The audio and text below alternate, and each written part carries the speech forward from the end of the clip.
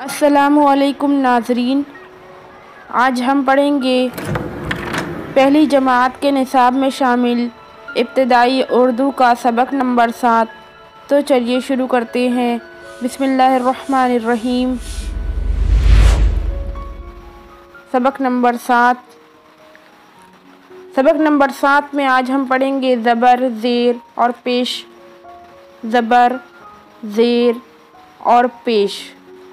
नाजरीन, हमने पहले भी बता चुके हैं कि ज़बर कहाँ लगता है ऊपर। ज़ेर कहाँ लगता है नीचे। और पेश कहाँ लगता है। इस तरीके से।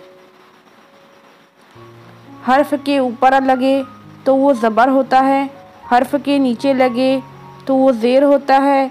और इस तरीके से बना हुआ हर्फ के ऊपर लगे तो पेश होता है। ज़बर की आवाज़ ऊपर जाती है, ऊपर को जाती है, ज़ेर की आवाज़ नीचे को जाती है और पेश की आवाज़ आगे को जाती है और होंठ गोल हो जाते हैं। मसलन, देखिए नाजरीन, ये अलीफ़ है तो ये अलीफ़ है, इस पर ज़बर लगाए, आ तो आवाज़ ऊपर जा रही है, आ, अलीफ़ ज़बर, आ। अलिफ के नीचे ज़ेर लगाएँगे। अलिफ ज़ेर, ई ई, नीचे जा रही आवाज़। अलिफ पेश, ऊ तो होठ गोल हो रहे हैं। जब हम पेश पढ़ रहे तो होठ गोल हो रहे हैं। तो चलिए नाजिन, आगे देखते हैं। आगे कुछ बॉक्स दिए हुए हैं। एक में ज़बर है, एक में ज़ेर है और तीसरे में पेश है। और इसकी मिसालें सामने दी हुई हैं। ज़बर की मिसालें दी हुई हैं। एग्ज़ाम्पल दिया हुआ है, ज़बर लगा के कैसे पढ़ा गया है। ये देखिए नादरीन तो चलिए शुरू करते हैं पढ़ना। अलीफ, बे, ज़बर, अब। ते, बे, ज़बर, तब। जीम, बे, ज़बर, जब। डाल, रे, ज़बर, डर। रे, बे, ज़बर, रब। अब ज़ेर की मिसालें हैं नादरीन, देखिए। ये ज़ेर है।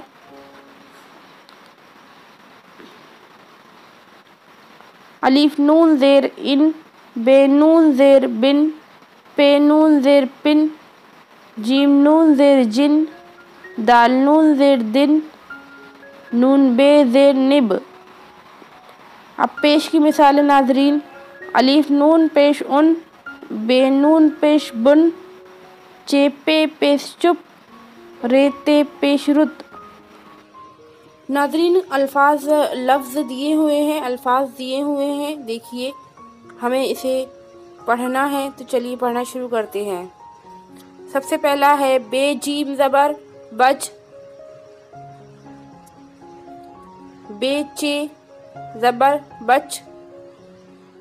बे ज़बर बा, चे अलिफ ज़बर चा, नून अलिफ ज़बर ना, बचाना। नून ज़बरना चे अलिफ ज़बर चा, नून अलिफ ज़बर ना नचाना बे वापिश बो, नून अलिफ ज़बर ना बोना पे वापिश पो जीम अलिफ ज़बर जा। पे वापिश पू, जे अलिफ ज़बर जा पूजा ते वाव पे पेश तो टे वाव पेश तो पे ये देर पी। टोपी। बेदाल जबर बद। बे जबर बा। दाल नून जबर दन। बदन। नून जेरनी डाल रे जबर डर। निडर। जीम पेश जू, दाल अली जबर दा। जुदा। खे पेश खू, दाल अलिफ जबर दा। खुदा। हे दाल जबर हद।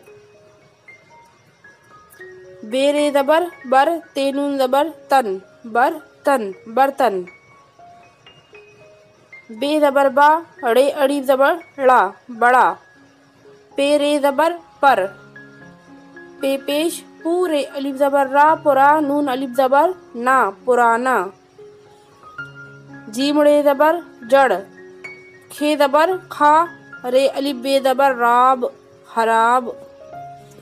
नादरीन आगे मुकम्मल जुमले दिए हुए हैं, यहाँ से यहाँ तक। तो चलिए पढ़ना शुरू करते हैं। आप भी कोशिश कीजिए। रे अलीफ, रा, जीम अलीफ, जा, राजा, निडर, बनो, नी, डर, निडर, बा, नो, बनो। बा पे जबर है तो बा पढ़ेंगे। बा, और नून पे पेश लगा के पढ़ेंगे। नो, बनो। बड़ा बड़ा, बर्तन बर्तन, दो। बड़ा, बर्तन, दो। बेनून दबर बन दाल रे दबर, दर बंदर। नून बड़िए दे ने बंदर ने। बेरे दबर बर, ते नून दबर तन बर्तन। बंदर ने बर्तन, ते वापिश तो रे अली जबरड़ा तोड़ा। बंदर ने बर्तन तोड़ा। पे पेश पूरे अलिफ जबर्रा पुरा नूनी देर नी पुरानी टेवा पेस्टो पे ये देर पी टोपी। नाजरीन, आगे मश्क है। सवाल नंबर एक है, इन लफ्ज़ों को लिखवाइए। नाजरीन, अब तक के हम हर्फ लिखते आ रहे थे। इनशाला आज हम लफ्ज़ लिखेंगे, यानी मुकम्मल लफ्ज़ लिखेंगे, जो हर्फ से मिलकर बनता है, जैसे कि रे और बे, रब। रे, बे ज़बर रब, इस तरीके से नाजरीन। दाल, नून, ज़ेर दिन, दाल नून ज़ेर दिन। रे ते पेश रुत, रे ते पेश रुत। अब लिखेंगे नाजरीन। बे, ये बे का नुकता लगा है यहाँ पर। बे, जीम ज़बर बज। बे ज़बर बा दाल नून ज़बर दन, बदन। जीम रे ज़बर जड़। सवाल नंबर दो देखिए नाजरीन, नीचे दिए हुए लफ्ज़ों पर ज़बर, ज़ेर, पेश का इस्तेमाल कराइए। नाजरीन, लफ्ज़ दिए हुए हैं, देखिए। लफ्ज़ दिए हुए हैं, लेकिन उसके ऊपर ज़बर, ज़ेर नहीं लगा है तो उसको हमें लगाना है। तो मुनासिब लगाएँगे, जैसे जीम बे ज़बर जब जीम बे ज़ेर जिब जिम बे पेश जुब होता है तो हम लगाएँगे यहाँ पर ज़बर। जिम बे ज़बर, जब रे खे है तो रे पे रे पे लगाएँगे पेश तो बन जाएगा रुख। दाल नून लिखा हुआ है नाजरीन तो उसके नीचे लगा देंगे हम ज़ेर तो बन जाएगा दिन। चे और पे लिखा है नाजरीन तो इस पे लगाएँगे पेश, बनेगा चुप। चे पे पेश चुप। अलीफा बे लगा है, नाजरीन, अलीफा बे लिखा है, इस पे लगाएँगे ज़बर, बनेगा अब। पे और नून है, लगा देंगे ज़ेर, लगेगा, बन जाएगा पिन। नाजरीन, सवाल नंबर तीन है, खाने में दिए हुए ज़बर ज़ेर पेश को सामने लिखे हुए नुक्तों में इस्तेमाल कराइए। तो क्या करना है, नाजरीन? ये जो खाने में ज़बर देर, पेश ये ज़बर है, ये ज़ेर है, ये पेश है जो दिए हुए हैं तो इसके सामने जो लफ्ज़ दिए हुए हैं तो उसके ऊपर हमको इस्तेमाल करना है, यानी इसका यूज़ करना है। तो चलिए इसका यूज़ करते हैं। तो सबसे पहला है, ज़बर, ते बे ज़बर, तब, जीम बे ज़बर, जब, बे जीम ज़बर, बज। ऐसे ही आप ज़ेर है नादरीन अलिफ नून ज़ेर इन बे नून ज़ेर बिन नून ज़ेर नी डे डाल रहे ज़बर डर। अब नादरीन आप सोच रहे होंगे, इस पे ज़बर ज़ेर दोनों लगे। तो जी हाँ तो ये तीन हरफी लफ्ज़ आ गया है, इस वजह से इस पे ज़बर और ज़ेर लगा दिया गया। तो पहले नून ज़ेर नहीं पढ़ ली, फिर डाल को रे में मिलाकर पढ़े। डाल को रे में मिलाकर पढ़े निडर अब पेश है नादरीन अलिफ नून पेश, उन, बेते पेश, बुत। बेनून पेश, बुन। इस तरीके से। नाजरीन, सवाल नंबर चार है। नीचे दिए हुए लफ्ज़ों में खानों की मदद से ज़बर देर पेश की पहचान कराएँ और खाली खानों में इन्हें बनवाएँ। इन्हें ज़बर देर की पहचान करना है नाजरीन और उसको खाली खानों में लिखना है। तो चलिए पहचान करते हैं। सबसे पहला है रे बे और उसके ऊपर लगा है ज़बर रब। दूसरा है दाल नून तो नीचे लगा है ज़ेर दाल नून जेर दिन। तीसरा है रे ते पेश रुत। तो इसके अंदर हमको देखना है नाजीन कि सबसे पहले वाले हर्फ पे क्या क्या लगा है। हमने ज़बर देर पेश की पहचान कर चुके हैं।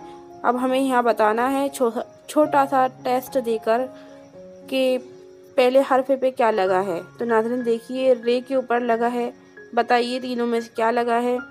ये तो नहीं, ये तो नहीं लगा। ये तो नहीं लगा, इस जैसा नहीं लगा है। और ना ही इस जैसा लगा है। तो क्या बचा फिर? ज़बर। तो जी हाँ ये लगा है।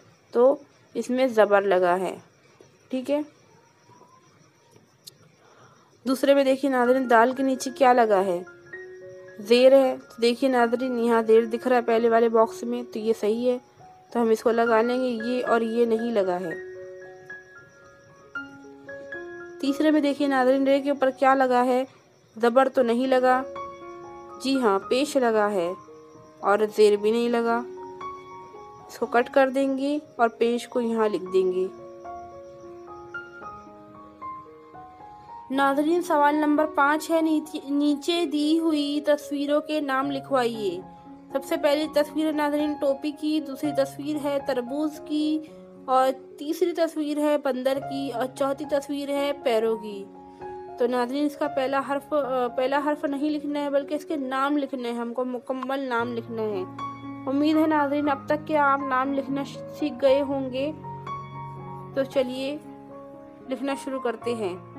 टो पी टे, वाओ, टो पे ये पी टो पी।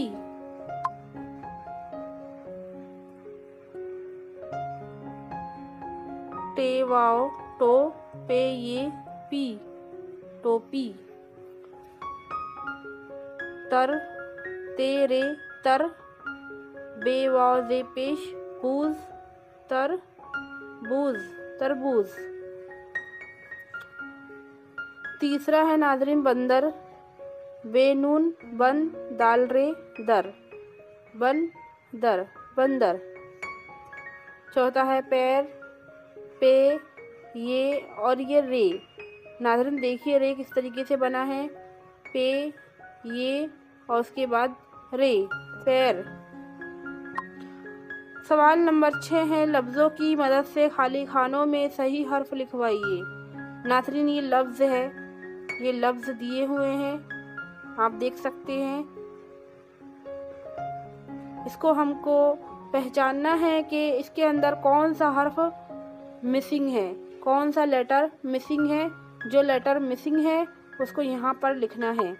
तो सबसे पहले बड़ा लिखा है बेड़े अलीफ बड़ा। अब हम यहाँ देखते हैं सामने।